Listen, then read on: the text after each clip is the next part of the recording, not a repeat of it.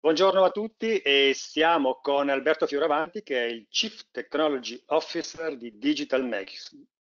Buongiorno Alberto. Buongiorno. Buongiorno a tutti. Alberto Fioravanti è qui con noi, è qui con noi in qualità di Chief Wizard, diciamo così, il mago dei capi, cioè il capo dei maghi, perché Digital Magics è una società, è una società che si occupa di far crescere altre società super innovative è la persona giusta, secondo noi, è tra le persone giuste, eh, per eh, farci vedere un po' più lontano rispetto eh, a quello che vediamo ora e che ci possa far vedere che sta succedendo in questa nebulosa che ehm, Mark Zuckerberg ha deciso di chiamare metaverso, ma che in realtà è una, nebulosa che esiste già da parecchi, da parecchi anni, se non decenni, e che è quella che una volta si chiamava realtà virtuale o in generale se vogliamo chiamarla con altri nomi, il mondo digitale, il mondo del web punto, del 3.0, cioè cosa sta succedendo e cosa, cosa sta succedendo per, per quanto riguarda l'oggi, ma soprattutto cosa succederà e quali sono alla fine, vogliamo lì e vogliamo arrivare, quali sono le possibilità di investimento. Per, per, per, poter capire quali saranno le possibilità di investimento, in questo momento c'è pochissima visibilità, siamo dentro una foschia della nebulosa e quindi serve un mago. Perché serve un mago? Perché Digital Magics nasce parecchi anni fa, quando proprio di queste cose si comincia a parlare, il mondo digitale che è un po' magico, come, come forse i fondatori, e Alberto Fioravanti è uno dei fondatori di Digital Magics, ehm, avevano cominciato a, a, a pensare a questo punto io ho già parlato fin troppo, siamo qui per cercare di capire attraverso Alberto Fioravanti che sta succedendo, soprattutto dal punto di vista tecnologico, e, e quindi co cosa c'è pronto, cosa non è ancora pronto, e quali potrebbero essere i confini e i contenuti di questo mondo che, ripeto, Zuckerberg ha definito metaverso e potrebbe essere un mondo digitale. Allora lascio la parola a te e ci dai qualche indicazione intanto sulle tecnologie, quali sono quelle che sono già pronte ora, quelle che invece non sono ancora pronte e, e cosa è intanto una prima definizione. E intanto il cuore eh, del metaverso è un'esperienza immersiva, quindi si parte da un ambiente digitale multiforme in continua evoluzione che eh, deve proprio trasformare la nostra esperienza di interazione con il web. Eh, in qualche modo eh, ci sono dei dati su eh, quale sarà il valore di mercato, non so, c'è una ricerca di Grandview Research che prevede che il metaverso raggiungerà nel 2030 un valore globale intorno ai 770 eh, miliardi di dollari, con tassi di crescita composto di circa il 40%.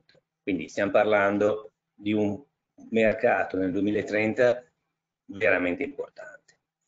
Eh, da che cosa è fondato? Si basa su una combinazione di fattori ad alto contenuto tecnologico eh, che riguardano infrastrutture, interfacce, esperienze ibride e virtuali e soprattutto la comunità e le, della, dei, dei, creativi di contenuti, crea la creator economy viene chiamata.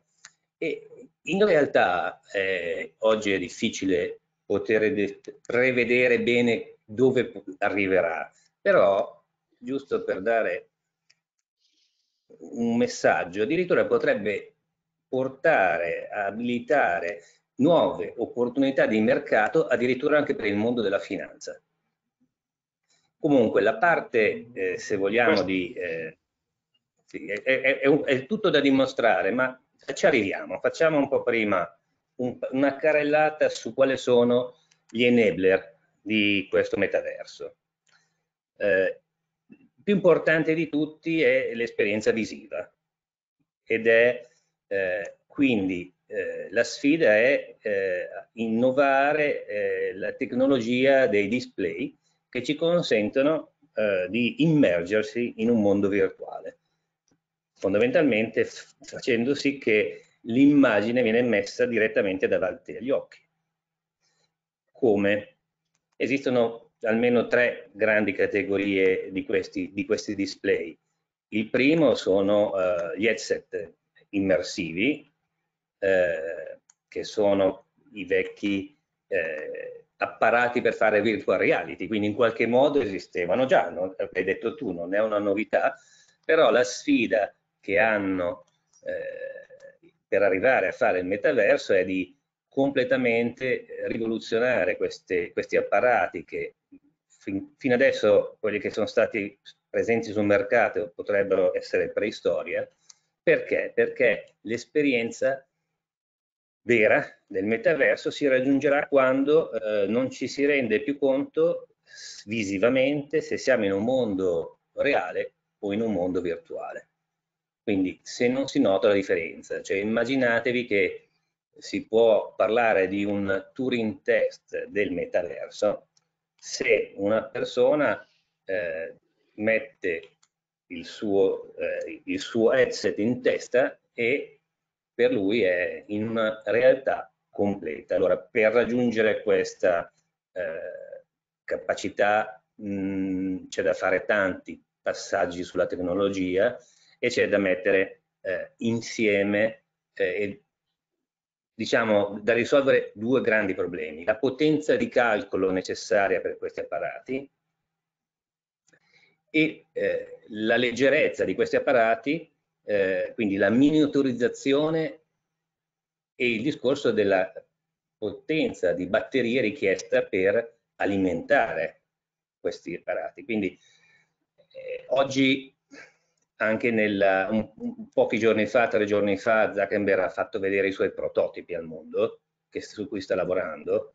Eh, sono, ognuno di questi risolve un piccolo problema, eh, quindi uno fa vedere che eh, risolve le problematiche di distorsione, quindi non c'è più l'affaticamento. Ecco, una delle cose che si punta è, ovviamente deve essere un'esperienza che non faccia affaticare la vista. Questo si può ottenere tramite eh, un controllo dei movimenti dell'occhio e, eh, e, questo è già in termini di laboratorio è possibile, ma sono ancora attaccati a un computer con un cavo che fa tutti i calcoli. Un, un altro prototipo serviva per dare eh, la capacità di esprimere i colori che oggi hanno le nostre televisioni a casa. Eh, le, le, tecnologie HDR, Dolby Vision, cioè milioni di colori che consentono di essere più realistiche della realtà, mettiamola così. Eh, il prototipo che ho fatto vedere è uno scatolotto eh, enorme, pesantissimo, però la tecnologia quindi esiste. E così, però non siamo ancora quindi eh, vicini a, a un'industrializzazione, eh, ma questa sarà, secondo me, la parte probabilmente preponderante dell'esperienza, soprattutto pensando al mondo del gaming. Mm? In realtà poi esiste un'altra tipologia di, di, di, device ottici che sono i già conosciuti eh, reality glass, cioè gli occhiali che consentono di sovrapporre alla, alle cose che vediamo delle informazioni. E l'ultima categoria ancora più avveniristica sono le lenti a contatto smart. Che se ah, ci pensiamo cosa nuova. Eh, insomma comunque immaginiamoci che deve essere così miniaturizzato e così leggero che possa essere la potenza di calcolo della batteria completamente inserita in una lente a contatto. Quindi siamo ancora più lontani come tempo.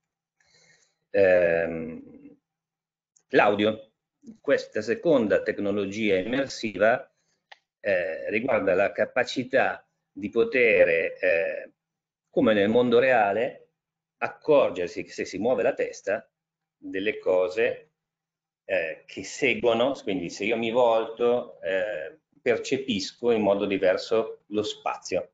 Ecco, questa tecnologia audio immersiva in realtà è già qua, non è una grande eh, non è un, uno step così grande come per il video, di fatto consente di percepire l'audio in tre dimensioni e quindi tenere conto anche dei movimenti della testa in alto, in basso, a destra, in, a, proprio a tre dimensioni e quindi in questo caso eh, abbiamo degli esempi già sul mercato di cuffie, eh, auricolari e canali musicali eh, che consentono questo. Poi c'è una, una sfida ulteriore, un'altra tecnologia che è il, il senso tattile, haptic in inglese.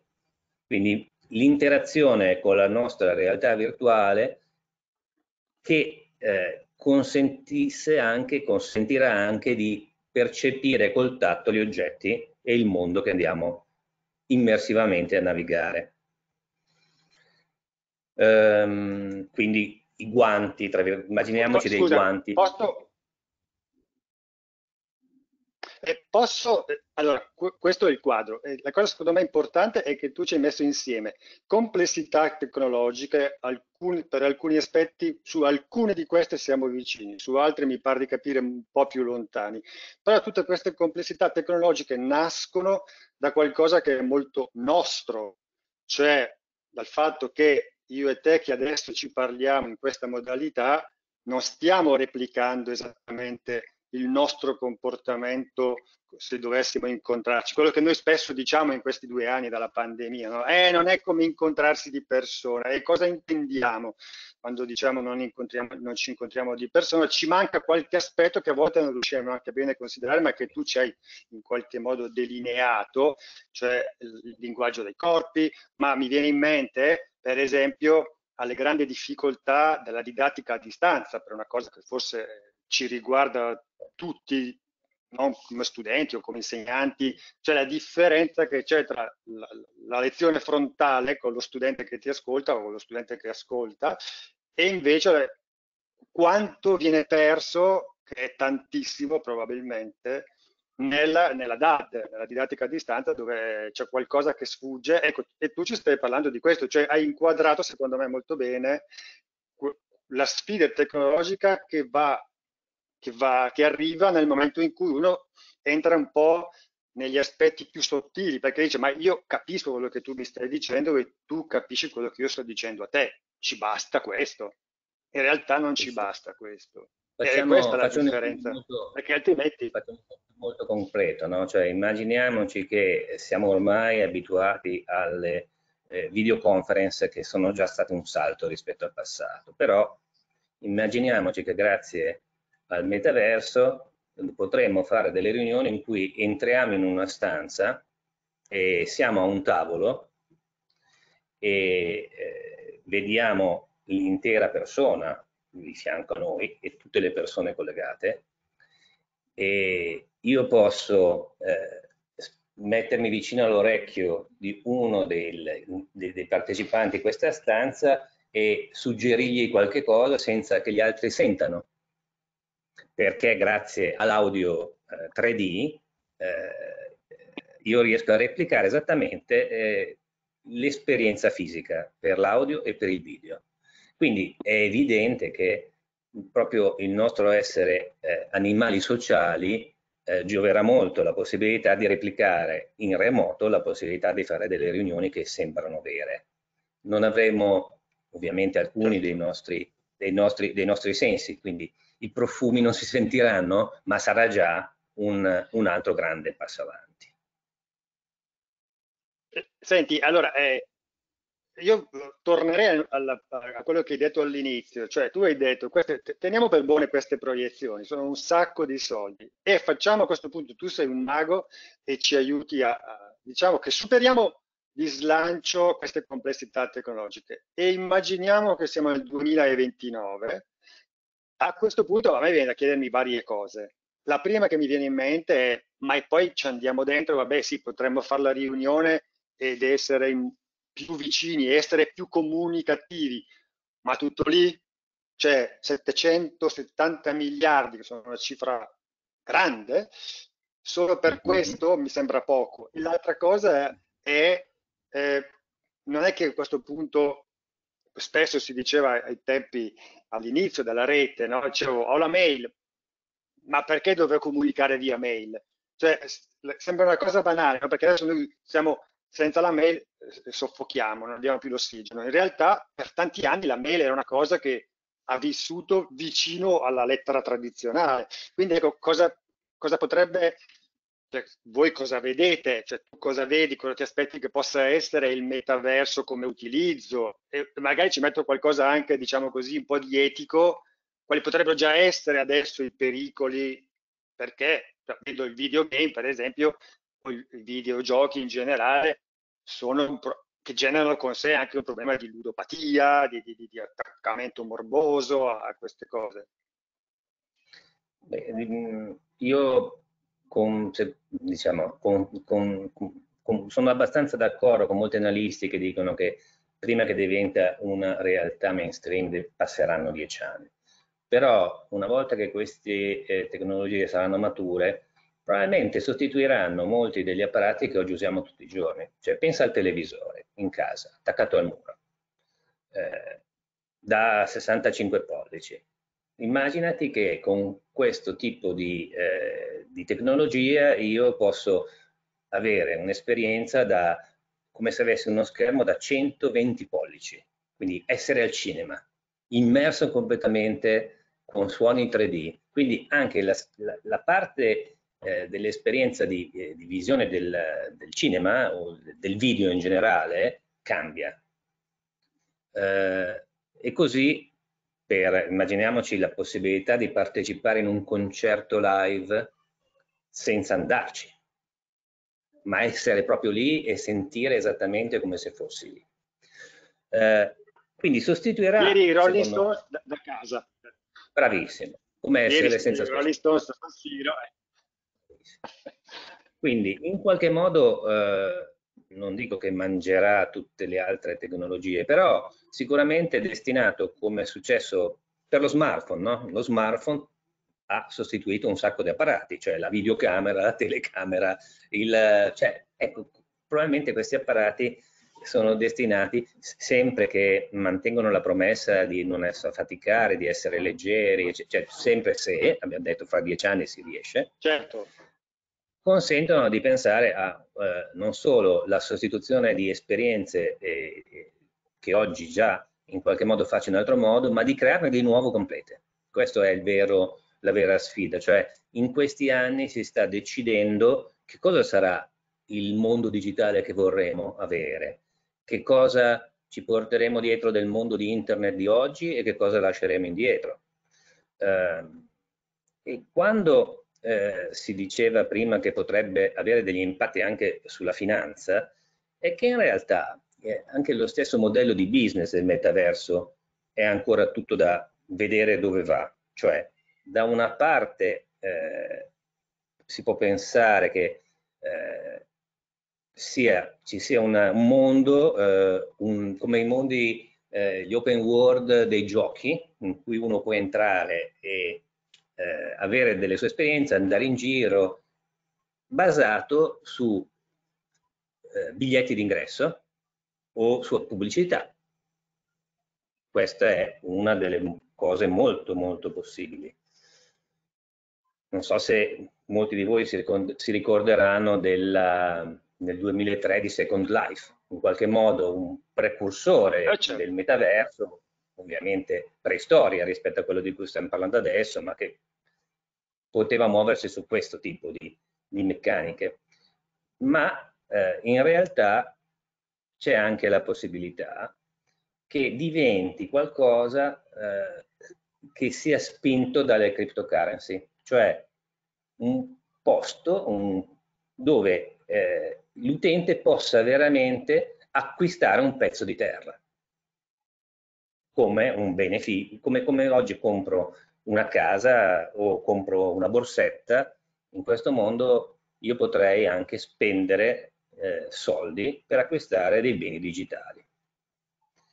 Eh, ci sono ovviamente ancora delle grandi delle grandi sfide che non sono solo di sviluppo di tecnologie di interfaccia e che riguardano eh, diciamo il fatto che per diventare eh, mainstream ci vogliono degli standard quindi oggi quello che si vede emergere sono ancora delle tecnologie proprietary cioè non aperte, non open quindi non interoperabili ma eh, come è successo per il web è stato lo standard del World Wide Web che ha reso internet potente. Quindi anche nel caso eh, del metaverso dovrà emergere uno standard che consentirà di interagire con persone che hanno apparati di marche diverse, adesso mettiamolo in termini semplici.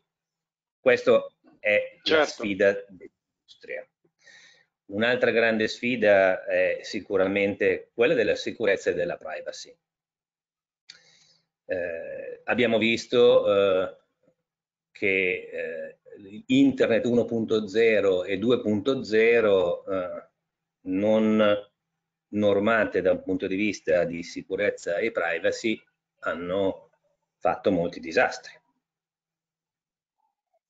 Perché? Perché purtroppo le, le minoranze non sono tutelate, ci sono eh, casi di harassment, insomma sappiamo del, del, problema della privacy certo. e, e quindi anche qui eh, secondo me eh, come auspicano alcuni eh, fondi di venture capital essere, eh, dovrebbe essere creata una, una, una linea di, di, di, che, che sia condivisa tra tutti gli sviluppatori del metaverso sulla sicurezza e sulla privacy.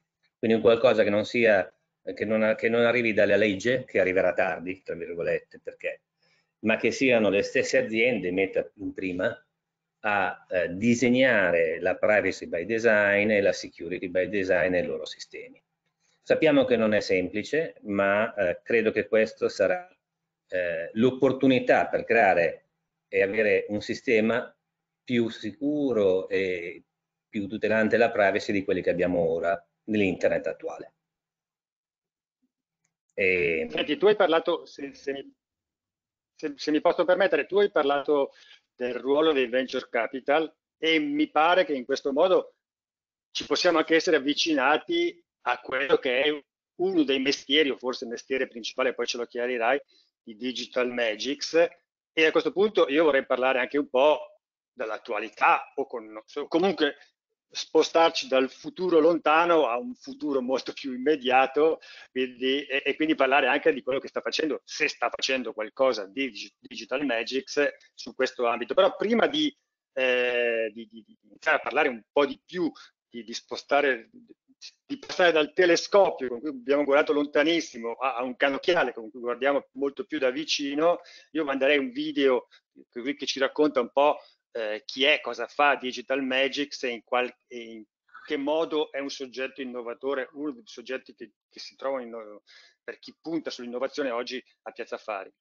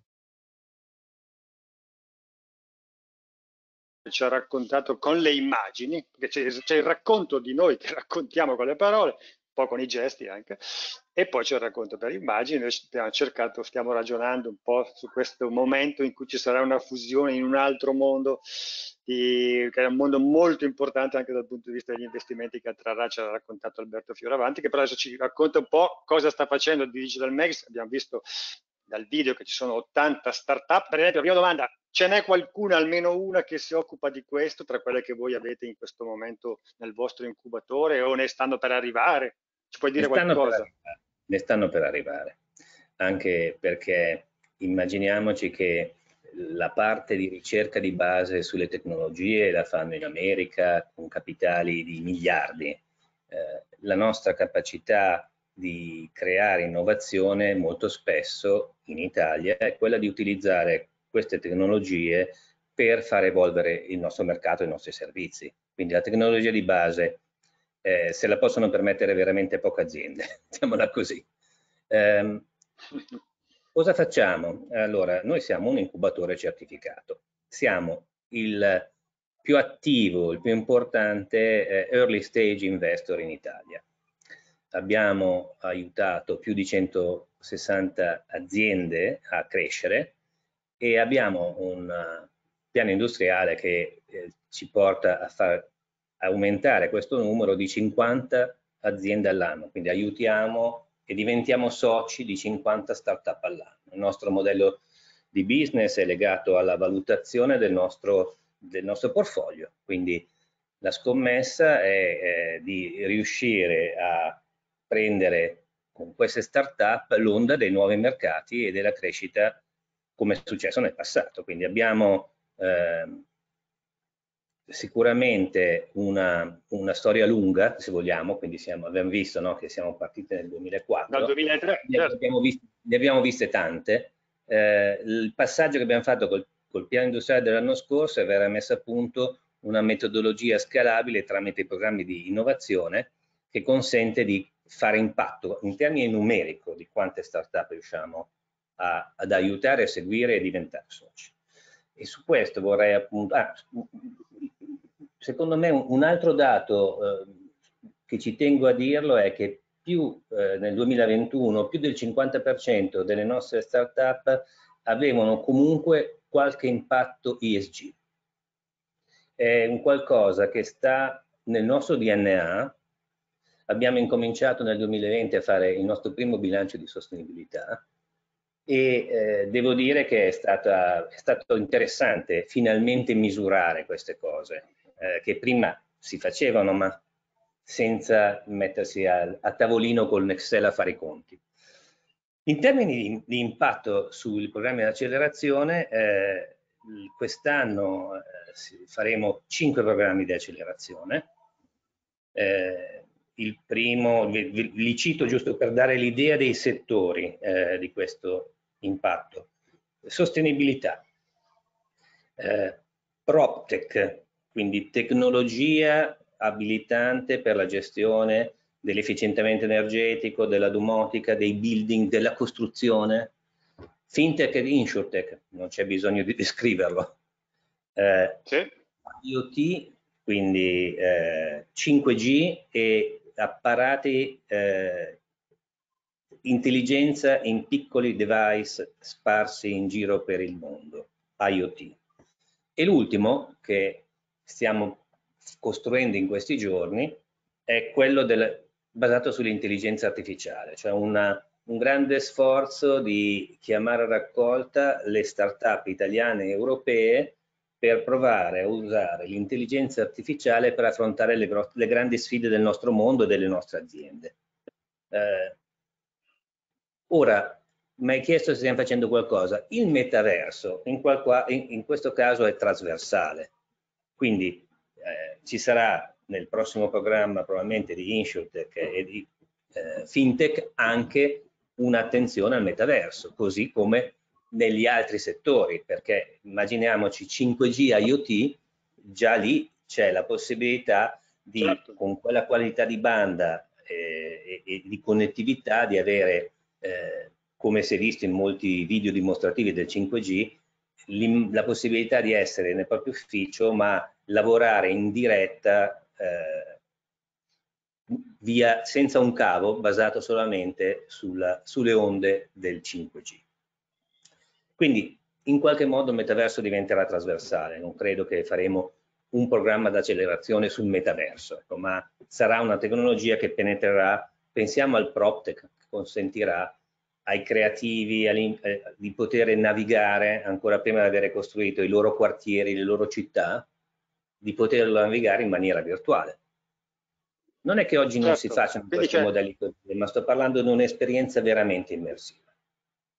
Quindi non sarà una città di fondazione come Brasilia, cioè che io mi metto lì e costruisco da zero nella giungla la nuova città che sarà il metaverso, ma diciamo una città che si aggiunge pezzo alla volta a, a, a cose che già ci sono, che ovviamente è, una città, è già una città super evoluta, ma, ma è, è, qualcosa che piano piano viene assorbito da un mondo che già, che, che già c'è e Digital Magic mi pare di capire che si è già ben sintonizzata, se vogliamo usare un termine diciamo, ormai desueto che è quello della radio. diciamo che al di là della... a noi non piace usare le buzzword, eh, diciamo usare le keyword che vanno di moda perché eh, diciamo ci piace essere concreti. Al momento giusto e soprattutto quando arriveranno le start-up con delle proposte eh, di, di progetti imprenditoriali basati su questi nuovi mondi saremo i primi ovviamente a cercare di aiutarli in questa sfida. Certo. L'interesse da parte dell'industria c'è, eh? posso dire che l'interesse da parte dell'industria, eh, delle aziende nell'esplorare il metaverso e prepararsi a questo mondo c'è. Quindi saranno gli stessi okay. partner industriali dei programmi di accelerazione che ci indicheranno quali sono le cose che vogliono eh, sperimentare prima grazie alla capacità innovativa delle nostre start-up fantastiche.